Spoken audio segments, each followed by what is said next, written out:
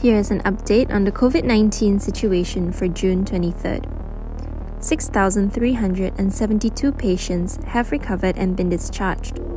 This brings the total number of recoveries to 645,553 cases, or 90.8% of total cases. As of 12 pm, there are 5,244 new cases bringing the total number of COVID 19 infections to 711,006. Of the 5,244 cases, 7 are imported cases. The other 5,237 are local infections. A total of 60,816 are still receiving treatment.